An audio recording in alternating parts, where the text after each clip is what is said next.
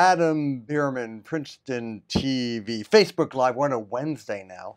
We're doing a, a uh, should I say, a long time longi- longitudinal study to see if Wednesday will bring more Facebook viewers. I'm gonna have to talk to producer Sally Tazelaar if she can make it. She has this, day job teaching kids, helping them. That's kind of lame. I hope it you know, hopefully it won't get in the way of that. You can come on a Wednesday. You know, she, she has to have priorities. That's stuff, uh, which I think is important. Uh, you, have some exciting news, Loren. Um, I was in Maine again because I'm a world traveler and a We'll stage get that in a bit. but Let's get to our, our guest of honor here. Come on. Are you dissing me? I'm Why? dissing you. I'm telling you. Hang on. I don't want to start off with dark military stuff. Come on. What, well, you gotta put. Oh, oh, okay, okay. Oh, oh. Jo- I, I'm, tro- I'm offended. I'm, I'm hurt. I need a safe space. No, Jon Trosky is an American college professor, an actor, stuntman, stunt coordinator, a wrestling champion. I like this part because I'm a star fucker. Excuse my French. You can swear. Um, he's also a successful career as a stunt performer and coordinator. In 2007, he and Smooth Tommy, I love this name, Suede, trained Nicolas Cage and later Mickey Rourke in the lead role lead role in The Wrestler. You've also been in movies like uh, Tell Tell Tall Tell Tell. Telltale. Thank you, Telltale Jo- Heart. J- Josh Lucas, Bra- yeah, based on Edgar Allan Poe. You've done commercials. You've done stunt coordination for um, CS, CSI, a lot of TV and everything. Like you're in the game. Again, Loren, you found another person who's in the game game with also an internet presence and a following. Now, can we talk about your Blu-ray? we'll get to that in a second. But yes, uh, Jon and I started the wrestling business together on May 22nd of 1999. It's unbelievable. we That's a wrestled in a little place called uh, Malvern Fire Hall. Uh, it was awesome as well as disastrous because Oh, you were managing him? no, I was managing another guy named Garrett, and um, we wrestled against him.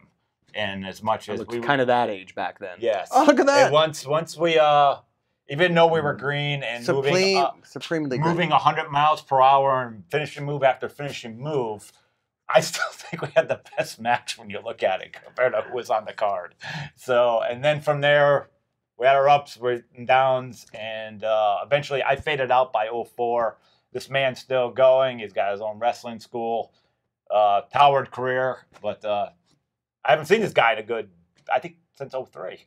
Yeah, it's been a while. Yeah, yeah, yeah. So welcome to the show. This is a big difference. You Yeah. know, we, we, we kind of Nice. both, we're more grown Princeton up. University, it's Yeah. all nice. This is why you're getting nostalgia, I guess, back in the green room, though. So you guys have a serious history during your younger, wilder days, and you're still, and and all of a sudden, like, how did you reconnect? You said, like, this is a show that this guy Adam Bierman's good looking, great. I'm That's actually that was that was my main reason. Yeah. For, for no, it was on. uh, honestly we just reconnected online, and uh, you know, I was telling him about. I sent him a link to one of the one of the shows. I was like, "Yo, you know, always Mm-hmm. looking for guests."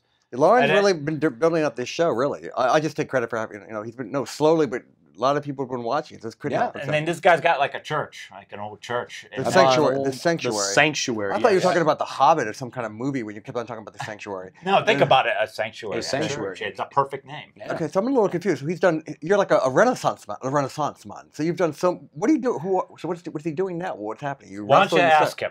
Was Oh. Jon? What are you doing these I'm days? scared Tell us. because you, you you told me I was doing things wrong, and now I'm I'm this subservient like role right now because I I'm really tired. I don't know why, and I'm not like I'm not projecting. Maybe I should be more manly. No. I do. I, I was talking. We were talking about posture before we came We on were, here about yeah. uh, We sitting straight. Okay. and How, how fat up? this shirt makes me Okay, look. God- I looked great in it ten years ago. Yeah, you look pretty strong now. I was wondering if we could wrestle, but I don't think we, we're geared for that right now and everything. no. So so what what are you doing? You you, you teach. You're a teacher. Penn Yes, State is. Berkeley. Penn State University, Penn State, uh, Berks, and Hazleton campuses. What do you teach? Uh, Instructional technology, instructional design, computer sciences, how to build a computer, uh, graphic design classes like an art class, like a, just a, a Photoshop kind of base class, uh, a web design class for building websites, video productions incorporated into that, a lot of other things that are new media like we're doing right now.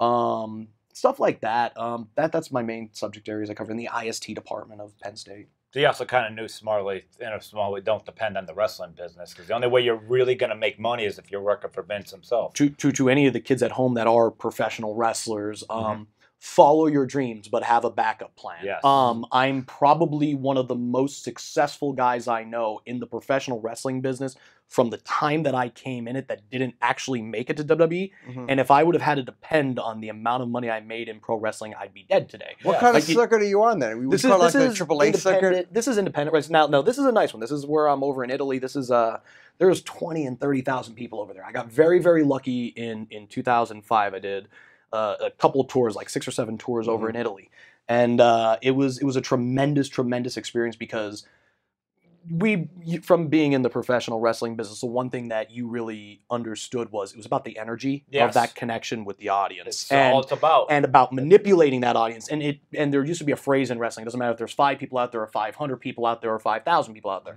That's bullshit. Uh, if there's if there's for performance wise, that's great. But when you're talking about energy wise, Mhm. there is no drug, there is no high, there is no anything that will ever make you feel what it's like to stand on a rope in front of 20 and 30,000 people on the opening card of the match when they're all fresh to see wrestling Mhm. and that you come out there and I was wrestling, uh, I was in red, white, and blue, and had this thing said "hero" across me. And I was wrestling at the time was 2005, so the, an Arab terrorist sort of character. And then I go to the top rope, and 30,000 people stand up and explode because a, it's the first thing they're seeing. B, it doesn't matter who I'm doing. It, it, it's right after 9/11 and all that, so it's all of that energy carried right into that into the into our opening match on that and the energy of knowing how to to work that audience is and and and it's it's way different on the on the bigger scale on, on that 10 and 20,000 person scale Mhm. because it's it's it's it's it's like a roar it's like a wave it comes in in in layers as opposed to And- on indie wrestling it's like yay i got a pop you know it's like and, and Yeah. you're usually happy about that And you also got your kind of like your outline of what you're plan- preparing to do. But also when you get out there, you see other waves to ride versus That's it. And yeah, and and, all- and I'm actually currently tied up in a in a court case with the state of Pennsylvania over whether uh, professional wrestling is a sport or not. Oh, really? Um, Uh, so still- I'm, still have I've, I these beat them once in court already, which is fantastic. Uh, we're we're going to a round two, which I'm Why is there Is this hap- litigation on that subject though? They want to. tax- so taxes so something? oh god Yeah, absolutely always, so right? in the state of pennsylvania we are a regulated sport of, pro- of professional wrestling as well as boxing mma and kickboxing uh, kickboxing mma and boxing made the state athletic commission about $400000 last year professional wrestling made it about 350000 so when it literally pro wrestling is half of the budget versus all of the other sports combined Wow. Mm. the Pennsylvania State Athletic Commission's budget to continue doing things is around a half of a million. So if you took away the pro wrestling side of it, they're in trouble. Right, right, right. Half of So my argument essentially was, okay, pro wrestling's fake, and I'm willing in the year 2018, willing to admit that, especially now that I'm a stunt coordinator and a stunt man, and I understand how different worlds of play fighting work, other than the real sport of wrestling, which I was a uh, second place in the state Keys- champion. second place in the Keystone State Games, and I was a district champion. I placed in regionals and stuff like that. I was a strong amateur wrestler back in the day. And I know how the sport of wrestling works. And that is something where I'm going in there and I am engaging in a sporting and athletic competition, trying to do damage to my opponent or win the match and, and, and pin them on the mat. In even at the time when we were doing it, Mhm. uh, there was we always knew who was winning and losing. Yes. Um, I would say that there was specifically at the time that we were doing it, we were doing more that super indie trend, which was you had to have a script. You had to have pretty much a bullet point by bullet point by bullet point by bullet point how you're going to go about your match. Um, what true pro wrestling is, though, is what I learned over in Italy, which is one of the coolest things in the world, which is you can have that script, but the script really doesn't matter. It's about you, your opponent, and the audience. Mhm. And, And it's about pulling the strings as it goes. Correct. Yes. Right. And uh, since we're allowed to say some non PG things on here, Yeah. I, I kind of compare it to two guys double teaming a chick. And it literally is both of us are in control, and it's all about working her. Right, right. And and that is that is she's reacting. that is it is all and it's all about the reactions. That's a beautiful metaphor. It- it, it's pro wrestling psychology, movie psychology, which Yep. you guys are all very understanding of, uh, book psychology, music psychology. All of those things are based off of one Donald thing: Donald Trump did it too. We, we, bunch of Sex. sex. Oh, sex. sex. I'm going to tell you why. Okay. If you know now, kids at home, in case you don't know how sex operates, um, the There's pattern of it, stork. the- There's a stork. the pattern of it is generally like this: is that you kind of start off kind of hot and fast, But if you keep doing that, you're gonna finish too soon, and that's a squash match in pro wrestling. Um, so you have to bring it's down crop. the pace, It's a crop Yes. failure. and in- in and then it's tournament, all about getting to that point of good, Mm-hmm. and then bringing it up and down to the to the, like down. Okay, we're, we can't finish here, so we're gonna go down for a little bit and do X, Y, and Z until we're gonna get back up to that pace, and then we're gonna bring it down. Mm-hmm. And it's it's it's the hero It's arc. it's- It's it's it's It's titillation too. It's expectation. which eventually leads to at the end of the day, what are we trying to seek in the a journey? massive orgasm. We're trying to seek that through the through the sex part of it, but in the story, we want the good guy to win. That's what we want in pro wrestling. That's why we came out to see. We came out to see the hero win. When we go out to see a movie, we came out to see Iron Man win at the end of it. That's why Infinity War is so cool because it kind of was like, oh, you you had me here and you left me. You left me. You left me. And, And when the that's- next movie comes out, all that magic's All that- all out the window. but yeah, So the uh, the whole point of this is though, all of this follows the same pattern as pro wrestling, which is started off hot, bring it down, hit your peaks and your valleys in between, lead to the comeback moment in the match where the go home moment, the good guys coming in, bump, bump, bump. Here we go, big finish, bump. That's sex. That's sex, and so is the movie. When you're watching the movie, it's not action through the entire thing, unless it's a Michael Bay movie. But I mean, it's it's it's it's generally you, you you start off with some sort of an action sequence or some sort of an event that gets you hooked into the event, and then it's about how do we get that character back to square. with the ebb and the flow, some twists in the story. Could there be a possible disaster? Right. so right. pro wrestling, movies, music, same thing. Music starts off with that little hook in the song that you like, Mhm. goes down the refrain. They're talking for a little bit, comes back to that hook, goes down, uh, refrain, refrain, bridge, yeah. finish. You know, what I mean, it's and same thing in pro wrestling. Falsy in the end, where the good, oh no, he's gonna come back. Oh, he might turn around. That sort of thing. Mhm. Same thing in a movie. It's like that moment when the villain, oh no, he turned it all around. Oh, the good guy still won. Still Yeah, get to yeah, yeah. still get off. Um, but I digress on all this as far as the pro wrestling and all that. But kind now of it's learned in Italy though. So it was you kind of had a general idea that in Italy, but then that you were- you and Italy. Did, all right, so that's exactly what I want to get back to. Is Italy taught me how to be a professional wrestler.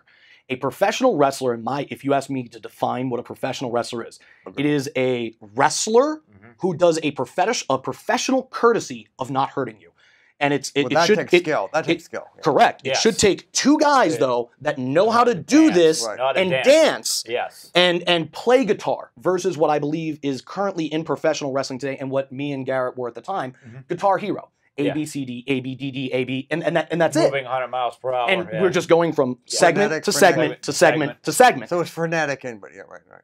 Pro wrestling is a true art, and I think it's dead. like, like I think you, it is too. I think if you're asking me, Well, and that's that's my whole point in court is I definitely gone. want to get to that, but it's also at the same time, it's like you use the F word, fake, and I, of course. But I also say that we are, we were a choreographed stunt show. Absolutely. I always hate it when someone's like, "Oh, it's fake." Like, no, doing doing these moves, slippery people sweat the sweat. People got hurt. People too. can get hurt. It's the same thing with stunts in movies. Like, Yeah. oh, well, it's Absolutely. a stunt guy. Guy fell over a car. The guy still rolled over metal Yeah, and exactly. hit the ground. That's- And they still there's died. still nothing. There's nothing fake about it. It's just I- you know it's going to happen. I agree with that, but I think there's something else in pro wrestling that is also dead now, which is called kayfabe.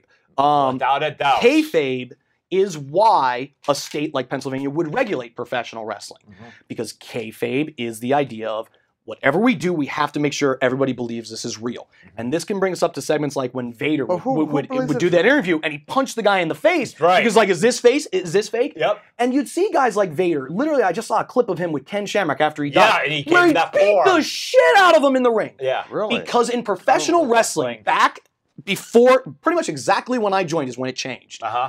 But anything before my time Uh-huh. was fucking damn close to real. And it was real. You real had your moments. They're, they're really got- going like that. Well, that. I mean, it, No, it, all I- I think we. It depends. It depends on the worker. Worker. But there is absolutely allowed that I'm allowed to go in there. Like if you and me said, hey, let's go in there tonight and beat the shit out of each other. You know? oh. I see. I, you, Or, or if we okay. just didn't really like each other, even if the promoter wasn't, like, you know, he gets me Some one. that All right, was- we're doing this tonight. All And right, the only you know? professional some would courtesy come out in the real. Uh-huh. Yeah, the only professional courtesy at that point would be, I know you're going to win, or you know I'm going to win. Right, right. But the rest of that might be a 75 to 80 percent legitimate yeah, shoot. and when fight. the crowd's looking around like this looks yeah, uh, but that was good for business. that was That was what pro wrestling was. I That was the remember- magic. I remember Bruno. I go even way back. Bruno Sammartino bloodying someone. Uh, yeah, yeah, yeah. yeah, you didn't get those cauliflower ears from nothing. Yeah, I you was just gonna say a cauliflower ear doesn't. There's nothing fake about a cauliflower ear. So Yeah. there was a time I think that you could argue that professional wrestling was real.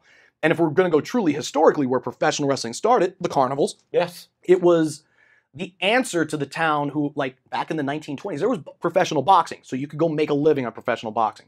You can make a living on professional baseball or professional anything except for professional wrestling. So all of the town's big hillbilly hicks ended up having to kind of join the carnivals and get Mhm. the good ones because they became what's known as a shooter. Mhm. And then there was like guys that became like all Americans, and then they joined and they became what was known as a hooker. And that was a person that was like your shooter, shooter, the person that could tear anybody apart in wrestling.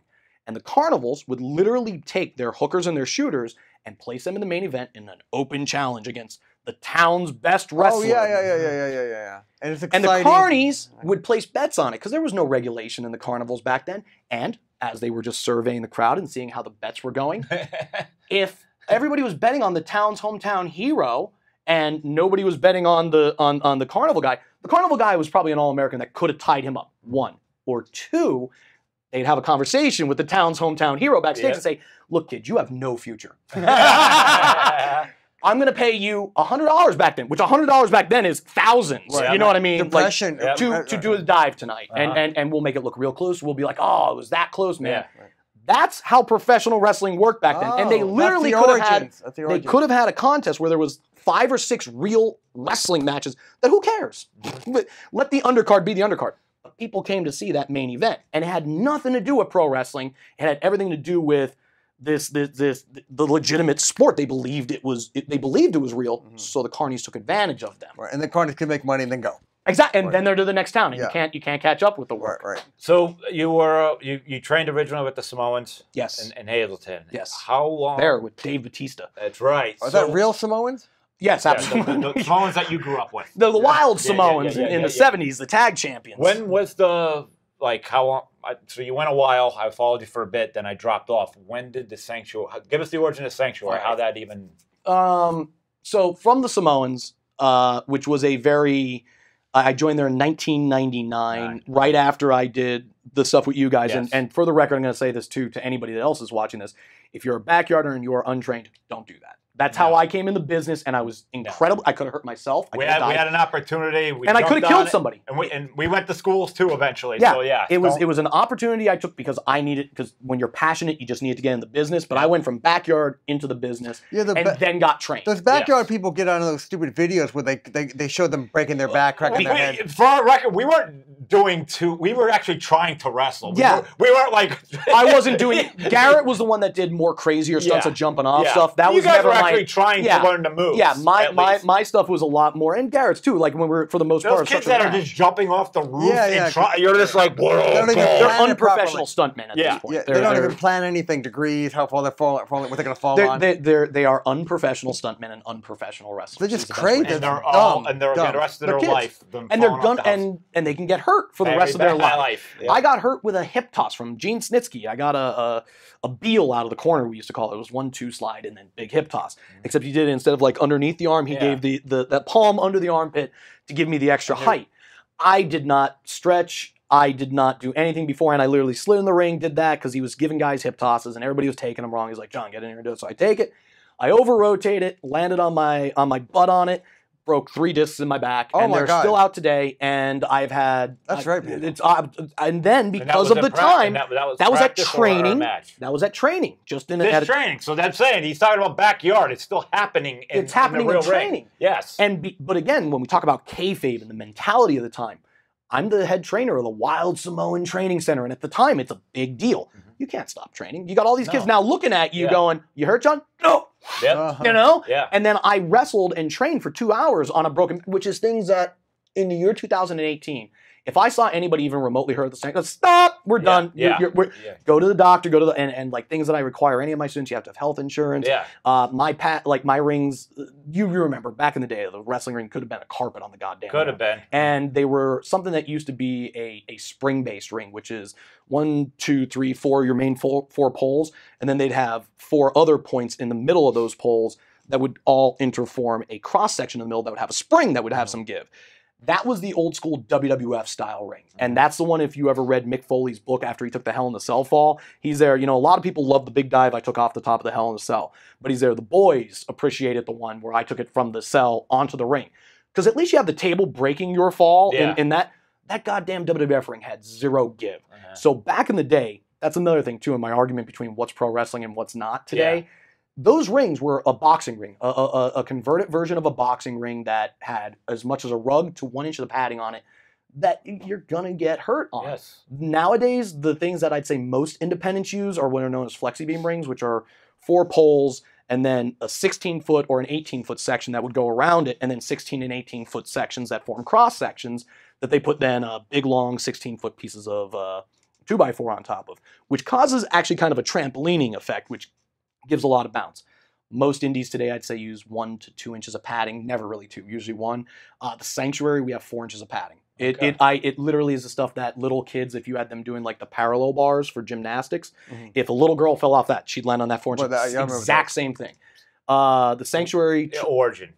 all right, so Yeah, that, that's yeah, what I'm going to. okay, it. Okay, I didn't It know. is the sanctuary's origin, and I need to under need you guys to understand the difference between pro wrestling and stunts now, and and understand the difference between where pro wrestling was versus where I'm trying to take it now. Okay. So if we live in the world that we accept and acknowledge professional wrestling is a fake, scripted, choreographed entertainment, why are we still using stiff rings? Why are Mhm. we still using four, uh, you know, one inch of padding? Why are we not? Why are we still beating each other up in there? Why are we, if we get hurt, why are we still wrestling through the matches? Why are all these things happening that wouldn't ever happen in stunts? If I was on set Yes. and I punch somebody in the face, the director's yelling cut, Yep. and we're and we're and everybody's checking on the doctors. Yep. Do you have a concussion? Are you Yeah, okay? yeah, yeah. All of that. That's how movies work. And it's when we talk about what's the difference between pro wrestling and stunts, and I think the state's case is, well, there is almost no difference between pro wrestling and stunts. That's because you don't know what you're talking about. There is a difference, and it's pure and simple about the safety. If I'm going to punch you in, uh, come here, that camera's on here. Now you're going to look this way and you're going to whip your head that way. When I crossed his line that way, the camera's not going to see that I missed him by that much Right, Yep. in pro wrestling, I have to make contact. You know, and I usually, if the crowd doesn't believe me, I have to make contact hard. Back to the origins of the sanctuary now. Sanctuary was my vision after I trained Mickey Rourke for the movie The Wrestler, which was my exit from pro wrestling and became a stuntman. Okay. That was Uh, 2003. That Darren was Abbott. 2007, Six. Seven. six, seven, around that time. Uh, and then I, I I did stunts for about five six years. Uh, I came back to the Wild Samoan Training Center, trained a kid, and got really behind this kid and helped make a, a good career for him. And uh, things didn't work out with that, and it turned into a situation where I was like, man, I can I can bang out a lot of really good guys still. I still have the ability as a trainer to train a lot of really talented guys and I could start training them to the way that I feel the business needs to shift versus where it's went now. Where it's went today, again, is that super indie shit that you, you- all of us did, which is mm-hmm. the da da da da da da da da da, and it's become Power Rangers. It's become no moves work. No. Nobody respects a punch. it's a- Nobody respects a Too, hammerlock. too many finishing moves in a row. A So so hammerlock, a hammerlock is what police arrest people with. They, they grab the guy's Yeah, arm and yeah, they wrench yeah, it up.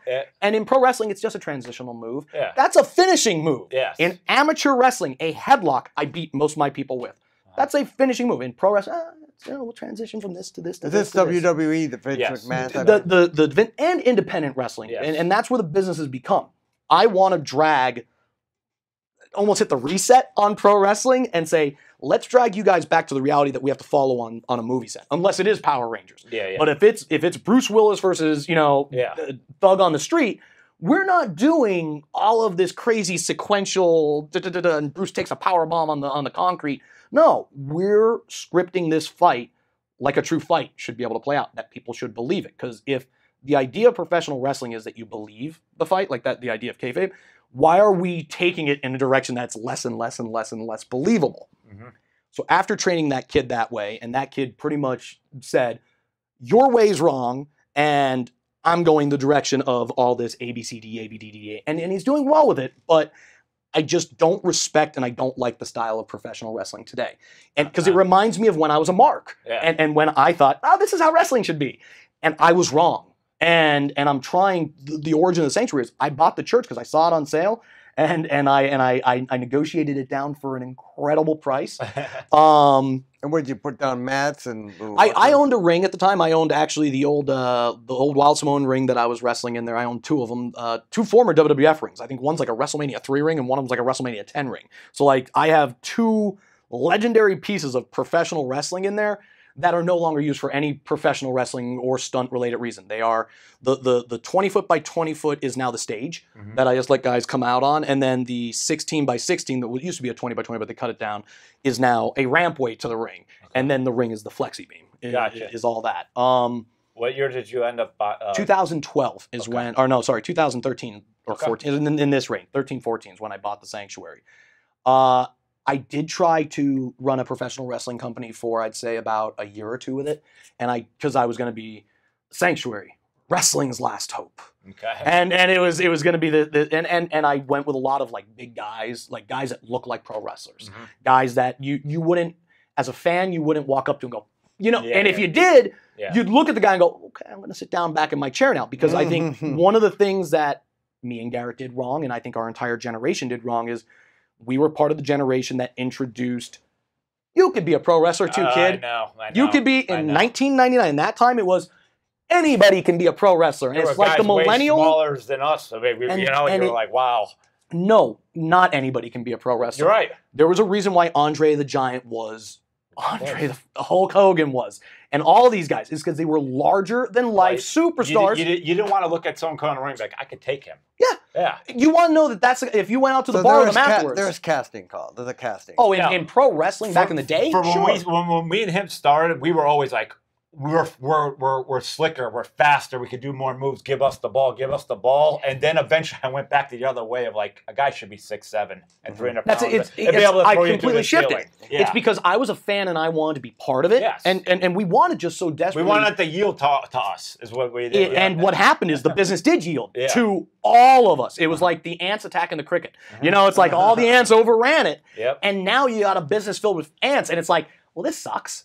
I want to see the two crickets fight. Well, we got no crickets left because they, they don't they don't do it anymore. And Yeah. if and if they do do it, they they don't do it the way that the cricket should do it. The cricket's now trying to conform to the way the ant does it. Mm-hmm. And the Big Show doesn't need to be doing a moonsault. The Big Show doesn't need to be doing sequence and shit. Big Show needs a punch a man, and that's why I love the fact that his, his finisher is a punch to the face. Because if the Big Show punches you in the Uh, face, yeah. you're getting knocked the fuck out. Yeah, he's Yeah. over seven foot. Yeah, Yeah. he's a big, big dude. So How, how do you? Here's a question because I don't I don't know. Like I said, I've not I've not seen Monday Night Raw or nothing in, in over twelve years I- easy. So how do you? How is it? Because I mean, we were probably we were wrong the way we came into the Mhm. business. How do you feel when a kid comes in and is like, "I'm the best thing in the world. Wrestling needs me." Yada yada. How do you handle that? patiently, Yeah. Patiently, because every it's like God is punishing me by handing me you from me back in the day. and and Garrett. But and they're so a excited. They have a goal. They have a dream. They have a dream. It, yeah, yeah. And I will not stifle the dream. And I got to find the way to com- compartmentalize, uh, I'm you know, sure- I'm grab sure- that And be passion. realistic. Be I'm, I'm. I'm, also, I'm pretty sure though you've had a, had your moments as me and Garrett did of someone let you know what you're doing wrong, maybe even the hard way. Oh, I'm I'm known as that guy. no, And- but I'm talking it had happened probably to you as it happened to us. Like your your, your attitude's wrong. We've got a way of, of showing you. All right. Is that part still happening? Oh, so you're Uh, saying like, did, some- do I ever a do I ever little shoot on a kid and beat the shit out of him? I'm No. not- or No. did- yeah, No, yeah. back in all right. So in pro wrestling, what you're infer- what you're basically saying is, you know, there was guys like the the Rock and Rebel who just murdered his Yes, wife that and piece of yeah, shit. that that guy in and himself. yes. He would have been one of the guys that would have came in there and is it would have literally beat the shit out of a shoot in the in the ring, Mhm. and probably would not have been the one to tell us why, and somebody else would have came and Yes. told us why that happened. Yep. And it's because your attitudes, Attitude's because you, you didn't shake somebody's hand before you came, or because you were, and it was a weird business. It was Yep. I, again in in and the rebel. I got I I won a match, and because I I was a main eventer of a company, and the promoter believed in me. But I cut a promo that literally in a building that probably had 50 people in it, I made 10 leave because of my promo. Uh-huh. So I crossed the line. But that pissed Rebel off so much that he literally, after the match, came down with a, a bunch of guys who just started attacking me. And I'm just like, all right, I'll work with it. They hold me up and just he unloads a steel chair shot against the top of my head, full blown. See the big white flash. I get the concussion. I have to just roll out of the ring like it. And and that was the type of business it was then. Yeah. And it's not it. And, and and now if you say like in the But- sanctuary, It's like insurance for all. Yeah, everybody sues everybody, but I I am I'm I'm doing the business now as if what if a professional movie studio took over professional wrestling and said this is the way we're going to do it from now on because the way you guys are doing it The Wild is West. dangerous is is is in, is just it's insane again like the idea so that I guess to answer my question, there's no real way of doing that. But wait, you did. But we just about what kind of you know tough love so I Yeah. here's here's something I've learned from my mother um you know, my father has never beat me, but my father could beat the shit out of me and it never lessened, never would have sunk into me. My mother knows how to mentally destroy me with words. Uh-huh. Um, and I, I've, I've done basically the same thing now with all of my guys. And I think the best thing that I do to them is speak honestly, like I am to you, and just tell them how fucking incompetent they are and how stupid they looked Mhm. and how bad they suck. And and and just be like, oh, do you see how great I did X, Y, and Z? Okay, let's go watch the tape. And I'm, I almost intentionally ignore the things that I'm going to put over to them because they're just going to mark out for themselves. And I, you know what you did right because Yeah. that's why you're here to hear me say good job for this. That's not why I'm here. It's my job as your trainer and as your teacher to show you this is where you suck, this is where you suck, this is where. And every time they all come in all, all proud of themselves before their or after their matches. Then after they leave, "Mm, fucking Trosky's an Mhm. asshole. You know, like like Yeah. every and so But if they I've- keep coming back, it shows they have Tanat. They want to yeah, I, get better. I've, I've, at- I'd say the sanctuary, uh, you know, f- actual students that have ever signed a contract with me, like zero. Um, but when you talk about independent wrestlers and now some of the guys that have made it into stunts, the I've touched hundreds and hundreds of guys now in their hearts. yes.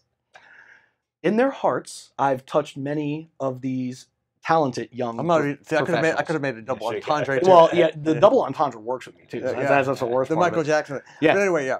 Uh, so, yeah. so, so, so, so mommies and daddies entrust their young 18 year olds to you, though. Though. Yeah, yeah, yeah. They, they, they, they. I guess to some degree, I, I don't think I get many eighteen-year-olds. I'd How, say. many, how old? How, how old is the average? I would say most of the guys that I get in there are usually around twenty to twenty-five, and the Mhm. reason is I seem I seem to be everybody's safety net in professional wrestling. Like, there's a lot of really, really, really, really, really, really bad wrestling schools out there now I believe it. Just because like, it was the Wild Samoan Training Center, Yep. like the, the Monster Factory, uh, WCW's used Power Plant, there used to be and, one in and South- Kowalski's. There was one in South Jersey too. I remember. That was the Monster Factory, Oh, probably. Um, that was back in the '90s and, and, and early 2000s. Now there's almost one in every town. Like, and I mean it because it's like, and and, these people. and these are the people that got fired by Afa, the the Mhm. Wild Samoan, or got fired by somebody else, and they don't like the way their lives have played out. So they went out and spent instead of another three thousand on another training center, three thousand on a ring, and opened their own company. So- and, so- fanboys are running the business. it- so basically, they could only teach you to a point. The same way when someone's like, "Hey, I, I hey, I, I got a, a, a belt in uh, Muay Thai, but they only got the first belt, but they're training and they only can get you so Correct. far." Or Correct. the jiu-jitsu guys, it's It- happening, and same thing with all these MMA oh, you're a third schools. degree black belt. Oh, you're completely self trained. Yeah, you know, yeah, it's, yeah, it's It's yeah. happened. There's the MMA Mhm. explosion. Even all the traditional schools that were losing business just said, "Oh, we could teach MMA," but we didn't really learn that. yeah. So it's like it's, It's the like these life coaches who go, "Well, I'm sympathetic. I can cheer, tell you to cheer up." And I'm a life coach. Anyway, maybe a little. No, I know. I trust me. I thought about going down the life coach Oh. area just because. Oh, you can speak well. and You can make people feel better about themselves because you're charismatic, and you can make money off of this. Yeah. You know, like oh, it could oh. wow. have. Unfortunately, yeah, Yeah. Could, I could, how, how do you separate the love you had as a kid for the business compared to what you went through versus this is this my good- my, my question. opinion today as far as when I had my falling out with Garrett and I never went back to the the, the wrestling business. There was it wasn't because of him. Mhm. It was because the way I didn't like the way the business was going with Mhm. entertainment. I didn't like the kayfabe thing was out, but most of all, I didn't like the internet stage of all these fans. Of no one's a fan. They all work for a wrestling site. They're all or- cosplayers. Yes, they're It- all part of the show. Like I wouldn't have done that. Here's what should happen next. I didn't want to be around that. If you're not going to enjoy what we're what what I what you were doing, I don't want to be a part of it. it's now you, you you've kind of hit where I'm at today. As I've said to many people around me, I hear the dice rolling in my life again Mhm. because I've lost a lot of my passion for Mhm. professional wrestling. The the the court case is part of it. The other part of it is is very much this generation. Yeah. And it every th- when you when you're in the generation that everybody gets a trophy, they don't understand that not everybody gets a trophy in Right. real life. You need to know. You need to learn how to lose. I hate. to Yeah. say that. that really true? You have to know what it's Is like. to that just- pervasive that every everyone wins self-image BS? At- that's why you're a professional wrestler, is because you have low self-image. It's because you felt that there's something more special, and I, I can say it's about everybody I've ever known, probably yourself and, and myself and Garrett included, because we know there's some sort of a light inside of us that we believe is special, and un, as opposed to you, me, and Garrett, we weren't constantly told, "You're right, that light is special." No, That's the difference. In yeah, fact, we were told to con, con, condense that light. Yes. Yeah. is is we believe we're special and professional wrestling was just one of our art forms that we fell in love with and that was the way we shined our light Yeah. And i think You got that part- thirty thousand Italian moment, right? i Right. think shining the light is, is a big part of that is the struggle of the darkness I, I think i think the only way you could truly be somebody who is truly has that glow Mhm. is is by some by understanding how repressive the darkness is Like, I- and by by having those Right. embracing it and losing and losing and losing and losing and picking yourself back the fuck up yes. and and to not go into the that that other story that's that's that's the the the, the entire thing of the most recent podcasting that's at the end of the day the moral of that story is pick yourself back up don't Yeah. let anything in your life break you and and that's at the end of the day But you have to be realistic too and get trained, but keep going. yeah no I, and that's these kids they can be broken and Very that's fine easy, and they stay there. and they get stuck Yes. Oh, okay. and and They what I've I've seen a lot of these kids is it's no longer their fault they're not succeeding. Yes. It's my fault. oh God, yeah. It's my fault as as the as a supervisor, as the person who is doing the scripting or the person that's doing the training. It's not the fact that they can't that they're not good. Some of them, some of them just flat out Some of them good. aren't built for this. Some of That's them- how it is. and, and then the other end of it, some of them just aren't built for it too. Yes. That you you look like shit, so I can't do it. I'm not going to make you, you my don't have any mic skills. I- you don't you walk can't the talk. you can't walk the aisle. That's a big thing. That's a word. That's a saying that people. I, I always said you can't walk the aisle. Anyone could walk out the aisle, but you no, you have to have some. you have to have a light. You have to Yes. have a. You have to have Bring a, the spark. And when I say light, it's not just energy because I see people like, ah, I'm energetic, Yeah, but yeah. they're hollow. They're hollow. Like Uh-huh. I think the one thing to- I hope that you can feel that you could feel in this in this interview is that this I feel energy it. is coming from right here in me, and it- it's very passionate energy. And that passionate energy has come from a Well, it's trans- lifetime of being And broken and that- told no. that- It's translated. It's translated. Yes, it Yeah. is. And that, and that was a weird thing because I, since I was a kid, all I cared about was like the Four Horsemen, and I was like, "This is what I'm going to do." And when him, I, Garrett, when we went through our phases, and I started to realize like, I'm not liking this. I'm not enjoying myself. There's a hell of a lot of drugs here. Everyone's like, "Stick this needle in your ass." I'm not doing it. there was a lot of drugs. And I started getting massive headaches after everything because oh, this guy doesn't know how to punch. He's hitting me with his Oh, forearm because he because because he he he watched some Japan videos. Yeah. And I'm giving it right back. But the, the, the fact of the matter is, when I got home, I'm sitting in a dark room holding my head, and I'm not taking anything stronger than Tylenol. Yeah. And uh, my lower back's starting to bother me. I'm like, am I really going to walk away from all this? It was the weirdest thing. I'm like, I'm definitely taking time off, and that's what I did.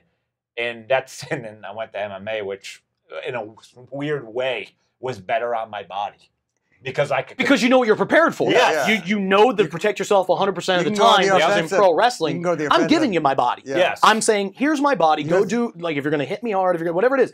Here's my body. It's presented to you. and It's your job to protect me now. yes. In MMA or amateur wrestling, I never got hurt in amateur Yeah, wrestling. it's, it's, it's, it's You're on the weird offensive. world. You know what you're doing. Yeah. I, I, I no know how to control dance. my, It and I was- know who's coming at me. It They're- was the weirdest thing when I said I'm done. I'm like I'm going to get back to this, and in a small part So- of my head, I just knew I'm like I'm really done. So these kids, weird. these kids become whiny bitches. They don't accept um, re- their responsibility. They're Mhm. not good. That must be frustrating. Yeah, very much. Well, again, I, I think that it's you know the, the these kids that then who can't succeed on their own talent or their own ability or something like that. In the state of Pennsylvania, one of the things I argue with the state athletic commission is all you need to be able to do to be a professional wrestling promoter. You could be a professional wrestling promoter by paying the state a hundred dollars for the license and getting a uh, uh, uh, the I think it's a ten thousand dollar bond, which is another hundred dollars on another insurance policy. But then you, who knows nothing about what you're doing, Mhm. can be in control over 16 guys that you get to just point and say, all right, you versus you, you versus you, you versus you, and, and, and this one's, and whoever's underlined wins. Wow. So now the fanboy is in charge. Now the person who doesn't know anything about protecting the guys doesn't like so like as a stunt from a stunt coordinating side of things, they're not stunt coordinating shit. They're saying, here's the list, you win, you lose, and then they walk away. yeah, That's it. And then they let uh, you guys work it out. Yeah. and that's it. I'd Now, rather do there's MMA. guys that I'll let do that if, if I trust them as veterans, but then there's also rules like at the Sanctuary. And one of the things about Sanctuary is I said for the first two years of it, I did professional wrestling. At some point, I realized it's broke. Pro wrestling is broke. And I was just constantly losing money and constantly looking at this like this is just it. I, I hate to I don't want to call it dead. It's just it's rebirthed into something that I don't I don't relate with. no, I don't I don't. I don't identify with this version of pro wrestling. I was a professional wrestler. I don't know what it is today. It's it, I, it's like pro wrestling cosplay is, is the best way I keep saying it is uh, you know, kids play dress up, and instead of dressing up as your favorite superhero, I'm gonna create my own. You know, Yeah, and it- and it's it's it's a different era and a different generation. So what are you doing with the sanctuary? But you're still doing it? Sanctuary is now a stunt studio. And that's when I started putting in the big pads. And that's when I started changing a lot of elements about the way guys have to work. Because that when I came in at pro wrestling, I, my, my champion was a big guy named Datu, about six foot three, 270 pounds of just big black muscle. Like like big, big, big, big scary man. He was the God King.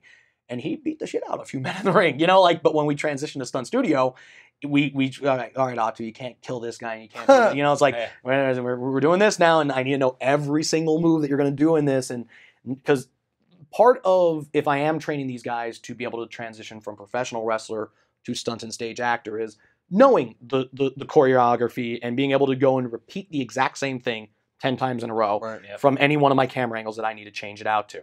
We do everything live and it's fine, but if, if I, there's been plenty of times where I've yelled cut on set where I've seen a bump gone wrong, that things that no indie wrestling company would ever, ever, ever. So when you talk about kayfabe, it's dead. Like, like, I- it- it- I- I especially hate, I hate that era. I hate that. specifically at the sanctuary, it's gone, gone. Because I really present it like, look, we're here filming an episode of Glow today.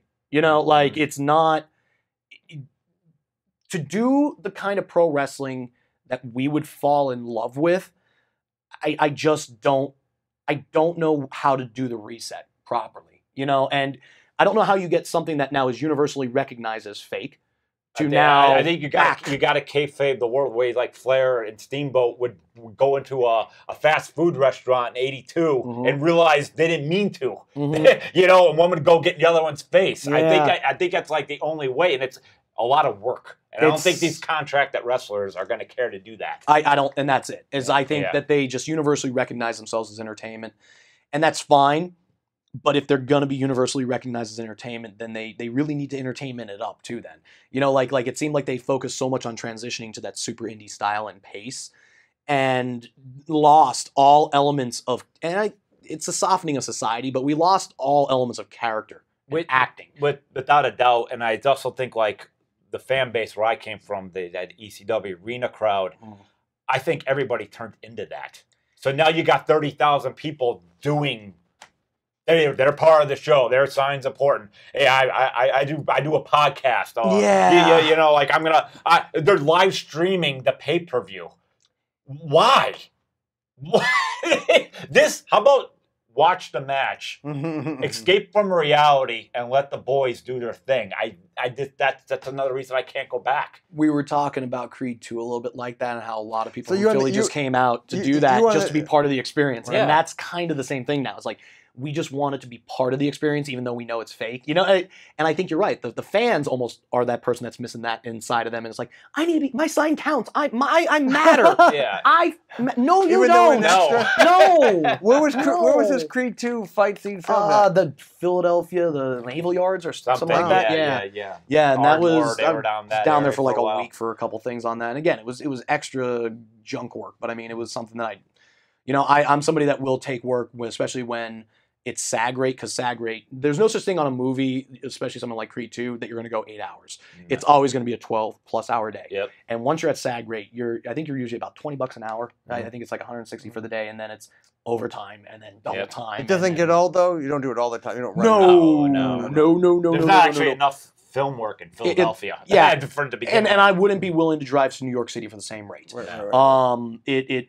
I'm, I'm I'm also a stuntman too, and I don't want to ever become known as an extra. You know what I mean? You, It's you it's gotta watch your. Yeah. You got you gotta watch. it, Can we can we talk about that though? Working Sure. Nick like Nick Cage, Mickey Rourke, uh, Josh, who people you've worked So with. yes, so you got to train the great Mickey Rourke for Mickey- the wrestler. For anyone else, who Great didn't film, know, great film. Anybody else that's really familiar with the wrestler? This was the referee at the end of the ma- the, the Oh, that was match. you? yeah, Yes. yeah, it was the final match. And then when that's when he probably dies, right? Yeah. I guess we. Think Well, we don't we don't know, and I, don't it's not know. like on the script. It didn't. I didn't. when I look at the script, it didn't go. That's what Mickey makes dies. it doesn't say. That's what makes you're supposed to just take what what you think. My answer to that question, though, because I get it a lot, is I sure hope so. yeah. Because if he didn't die, Yeah. he's now back in a hospital. Sans girlfriend, Uh, Sans daughter. Uh-huh. You know, his it, back to the trailer, which I'm not even sure he can get into anymore. Remember they locked it up. like, yeah, it- yeah, yeah, yeah. I mean, like, I think that you know, let's hope he died Yeah. doing what he loved Yeah. passionately in front of a good crowd. And he Yeah. was a 'Cause if huge. not- st- he was a huge star in the '80s. They don't really explain how he lost it. He was well known in the '80s, right? Boxing wasn't Back- he? He walked away from He himself. walked away from the sport, made a lot of uh, problems too before he left, and then And it was that Mm. trailer then, home then he got then out. he got short term memory loss. Oh. You can't be a conservative in Hollywood Yeah, either. then- he was he was very then he- outspoken Yes. about that. and, that- he could also kick your ass because he was a big dude. yeah, and he, could and he wouldn't fight. fuck around. Yeah, he, he- Exactly. yeah. So when you go back to Hollywood and you're just like, oh, now you want back in? Oh, you, you get plastic surgery and you're not. Oh, we're pretty talking about the real Mickey Yeah. Rourke. Yeah. Oh. That's- Oh, I'm I sorry. thought- I I thought thought that's what- that's you where I were was No, at. I'm talking talking about the wrestler. Oh, I'm sorry. The- Well, I'm talking about the character Well, in the wrestler. well, the character, the wrestler, he was. He he was a huge in. star in the '80s. oh, yeah, he was in the 80s, absolutely, yeah. And then you did never say He's why he didn't follow. Oh, probably That- like the a same lo- reason every star in the 80s did. They, they all Okay. fade out. They also fade out, and they but he was broke. What he, All they have what, is what wrestling. What he said in the opening of the show, the same way I will say, have a backup. I will always say as a film Oh. guy too, I have a day job. Yeah. Watch your money. Yeah. and those old wrestlers like Randy the Ram's character did not do that. None. And that's why he Oh, I opens see. up in a trailer park. I Because in the don't know movie, many- people kept on recognizing. He was still famous in some ways. His face was recognizable. Sure, absolutely. Yeah. And again, I think But he was in a trailer park. most of the wrestlers from the golden age of professional wrestling in that 1980s time, Yeah. uh, in, in WWF, if you saw them out in public and you were a fan of that time, you would absolutely recognize them. I would also say most of those guys you can find out in public now because they they're not. Hulk Hogan is a is probably the only one I could say is The like a exception. millionaire Mhm. and and, and, And separate. he had that lawsuit. too. Everybody else is is broken down, Really? and Yeah. and, and and and just don't. They probably did. did, did Roddy Piper They, died. they, they just when did, all you have is wrestling, you don't have anything after. And, Yep. it- and it- they did get injured. They did do steroids. They did have bone and heart and everything. I, I also say, with all that aside, regardless of how you turn out, just your finances are your finances. Like, Yeah. Just please take care of that. Right, right. What do you some do when it's only your job for like five? Like a lot of these guys only were up there five, ten years tops, Yep. and then when you're out of that, you're not getting the hundred thousand dollars a year. You're getting now Yeah. fifty, then thirty, then twenty. as you know, opening it up a, a great, a lot, great, a great quote out, out of uh, Jim Ross. He used to always say, "It's not about how much you make; it's about how much you save." That's Correct. true. So anyway, getting back to Mickey Rourke. Yeah. When you wor- worked with Mickey, was he crazy or you could work with him? I mean, insane. insane. Even when you're really did you Uh, you- fear for yourself? Or you could take no, I don't know. I fear for myself. I He was training him. I don't. see- yeah, I, I, he needed I just think that like compared to any other actor that I've dealt with, I would say that now here's a cool thing about Mickey. Mickey is also completely a normal dude as far as like a guy that you go out in the bar and be able to have a, a you can really just good. talk to him. Y- y- Yeah, sure, you but there's also the part of him too that is.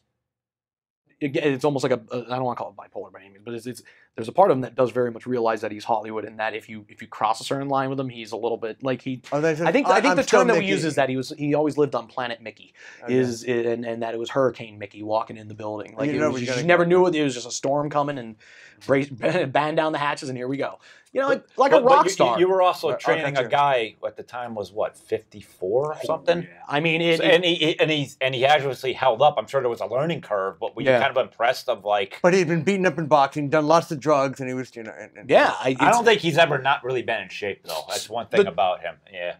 I don't think I've said this in an interview yet. I, I'd say that myself and Tommy Swade and the stunt coordinator uh, were brilliant in the way that we constructed a lot of matches on the movie The Wrestler because if you go back and you actually rewatch it, uh, Mickey doesn't take a lot of bumps. He doesn't take a front bump, back bumps. He, everything he takes a lot of times is rolls Mhm. because Mickey's got you know blown back, blown shoulders, so front bumps are out. Blown Mhm. back makes and a screwed up neck that makes back bumps out. Mhm. You're definitely not getting flip bumps out of him. So everything that you're kind of getting out of him is either rolls and like he's got some good strikes and stuff like that. And we taught him some lucha stuff like an up and over where he put his legs. And he has he was an extremely athletic guy. So like he still had a lot of stuff like that. Just he's 54 and you can't beat the hell out of a 54 year old Yeah, anymore. yeah. You know. And what about uh, Nick Cage besides cracking? He's great. Uh, Nick Cage is uh, I I liked I got along with Nick Cage better than I did Mickey Rourke because Mickey Rourke pure jock like and that's cool and I get along with jocks but I'm also like again I'm a dweeb I'm, I'm very much a, a, a dork techie kind of that you, read- guy you read books. and- yeah I'm, I'm, I'm, I'm intelligent um there's the, Nick Cage is a dork and it was clear that we a dork, both right. we very much got along on dork but literally when I first met him when he walked in the room he was like I am Nick Cage and I was like are you doing a bit with me? Right, Like, is right. this is this really you, Nick? And and and it was it was him, and I was like, holy shit, you're the guy who literally is this guy. Like like you're you don't act in the movies. You're just you say your lines because this is who you are. Um and and kind it was of that irreverent, breezy, kind Yeah. of wise act. yeah, it, it was he's and it was a really neat experience because I, I liked him. Again, I got along really well with him. The one thing about Nick, Nick didn't want to do his own stunts. Like we brought him in there, and I remember on, on the first he day did we or didn't? did not. Mm. Uh, He and doesn't want Darren Aronofsky was like, "You're doing everybody like." Darren was like, "You're doing your own stunts because I'm method." Like like that. That's Darren. Right, right. Um, Nick took one back, but I remember his first one, and like we do the short one, like from the squat, Yeah, that's yep, just like that. yep.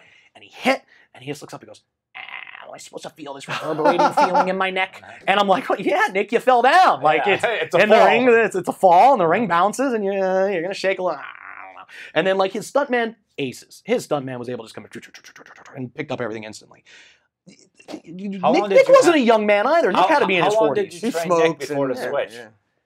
A month, I'd say in about a month. We were. That's when the budget got cut too, because because Nick was Nick was producing the movie too at one point. Nick, Uh-huh. I think we were probably at a fifteen to 20, uh, 20 million dollar movie, I thought was- and then went yeah. down to like a five Right, or a because, four. because Mickey was yeah, was Mickey's not bringing up production. Yeah, Mickey, and then I think it was just all whoever the producers were at that time, Uh-huh. and they expected all of it. And I think Nick expected it to be a Sundance Film Festival movie. Like nobody expected this thing to blow up to the levels up. that it did. Yeah, yeah. To It me, it was was like al- a comeback. It was also itself. like a, in a way a lot more believable because everybody thought that was this Mickey Rourke playing what he currently was at the time of Cor- uh, yeah, it's Yeah, I think people felt you that. couldn't have casted a better character for it than Mickey because his own personal life reflected the story of it, which Mhm. was Right, right. 80s actor, your big comeback moment, Mhm. You know, 80s wrestler, big comeback moment. alienated I- lots of people. I, I'd say to some degree, I it was slightly ironic that that's you know the wrestler he did. I think uh, uh, was it Iron Man two after that, but Yeah. it really kind of fizzled for him a little bit after that again. So Uh-huh. uh, the They- wrestler I think they got him two hundred thousand at that because He because got he was still beat up on that from from Iron Man. Yeah, yeah. he got beat up if I remember correctly. 'Cause- and and while Martin Downey Jr. is fucking making millions, Yeah, yeah, we're talking and about millions. comebacks of comebacks. Yeah. Yeah, I mean, it- it- Whiplash. I, Yeah. I, I can't even imagine how Mickey was sitting there just grinding his teeth on these scenes, going, "Hmm, No, 10 times the amount. of what money were here." what were you doing in during like your were you just doing school like in the daytime? I'm teaching talk- college? Is- uh, yeah, This is or this, this this is the early 2000s. Don't forget, we only have about five minutes. You got Gotcha, because I'm going into a, No. going, going going into asking a big question here. Yep. So, so but early 2000 in, into the wrestler. Were Yeah. you just doing the professor thing, or were you? Doing, Yeah.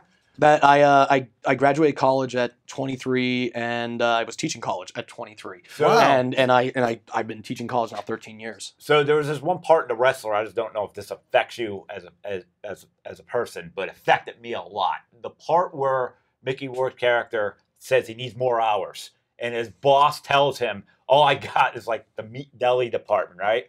So Mickey's character uh, goes and he puts he puts all this this humiliating things on, and, and uh, there's like a doorway, and he starts pacing back and forth, and he's hearing his music and he's hearing the cheers, and then he opens and he's in this reality. Right. I swear, I don't know about you, but every Monday morning when we were doing the wrestling, when from the ECW era and everything, when I would punch in at work in the Mhm. daytime, that killed me. And when I saw that part in the theater, if anybody looked at me, there was tears in my eyes. That's the like- part. That's the you. part that broke me down. Like all these people love Mhm. me on the Mhm. weekend, and now I'm back in a factory in the And- warehouse. and I time. remember- it killed. Uh, that yeah, part- no, I know. I I, I felt the emotion of it. The only thing I can relate is as a teacher. Yeah. it, it is teaching is very similar to pro wrestling. It's it's I'm the I'm the subject matter in the front of the classroom who has to then work 30 students instead. Yeah. And uh, Uh, being a pro wrestler has very much trained me as much as my college education to be a teacher because now I can look my students in the eyes, say something funny and witty, connect with them on the subject matter while teaching them something, and then if they don't remember, I can remind them of the joke, which then can Right, parallel back to oh that's right that so having a personality and being able to speak is a very very good trait as, as, a, as a teacher so it, the, the, the, they, they paralleled for me What would you say? Because we're getting more close Sure. to the end. What were like the highlights of, of your career? I mean, what, what would you say It really just stuck out? in, Like, in pro wrestling pro wrestling, the Italy- entire era. Like, Italy what- sounds big. Well, italy italy is the biggest thing The italy uh, if you said to me Jon the biggest things that you, you did in professional wrestling italy is the biggest Well, people Um, wanted to touch you as you walked through was the crowd. Italy, was- Italy was was enormous because it. I had creative control for as long as I wanted in the ring. I used to work in 15 minute matches with, in front of very large crowds. Number two would be uh, SmackDown, just because everybody recognizes SmackDown. Mhm. So I wrestled Mark Henry on SmackDown in 2006. Uh, and actually, no, that would be actually probably number three. Number two would be the wrestler, uh, because the rest, and actually, wrestler should take first because, you know, no matter whether I wrestled on SmackDown, hundreds of guys are jobbers on SmackDown. Hundreds of guys have had contracts and do all this. I have the ability to say to anybody who is a wrestling fan, "Hey, you see the movie The Wrestler? Yeah, it's I was a referee." And, you know, yeah. I have an immediate go-to moment in your brain that makes you go, "Ah, awesome!" Yeah. You know, like like, and there's I'd, I'd say the wrestler. So then the wrestler, clearly, um, the most fun, Italy. Uh, the biggest personal achievement, say, having the ability to say I've worked for WWF. You know, what I mean, that's that that is, is like What's as, the future? a child. What's the future then? You don't know. Uh, for for for me or for Sanctuary? for you. for me, uh, the dice is rolling, and I'm I love it, and I'm very excited for what the next decade will bring me. Um, I think uh, as, as I ended my pro wrestling career, I said this is the end of part one of my journey. You know, and I got, I'm destined for much greater things. Uh, part two has wrapped up, I think, and I, I think I'm entering uh my, my third act of my life. Mhm. And I'm very Start- interested to start see working, yeah, stunt work and and and other things too. I'm I'm very interested to see where my life takes me over the next couple of years. I, I- I think it's going to be an interesting ride.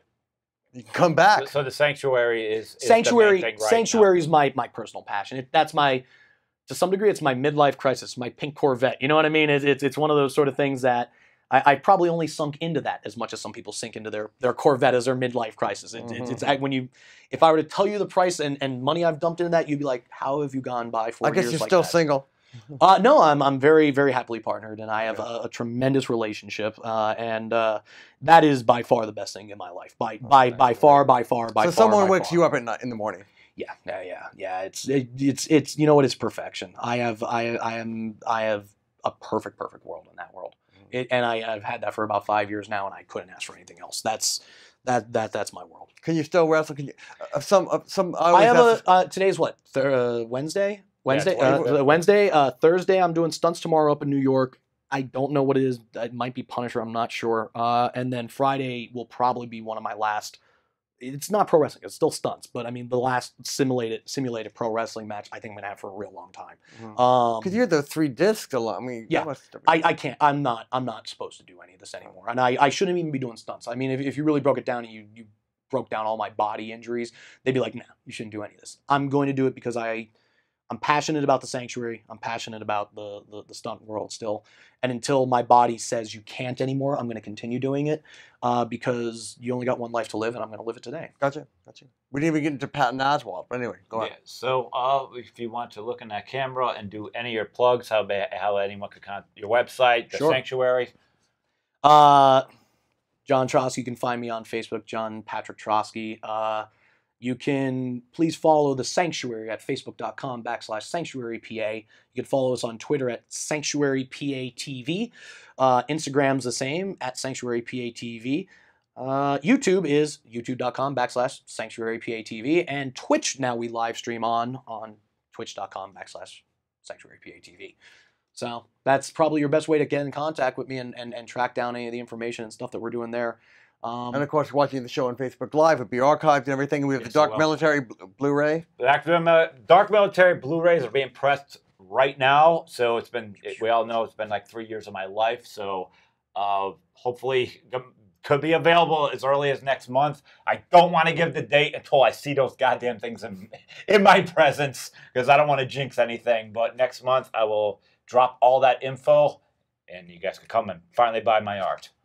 Well, Jon, you're a compelling character, and I'm sure your story will continue. And there will also be another Breezin' with Bierman in August.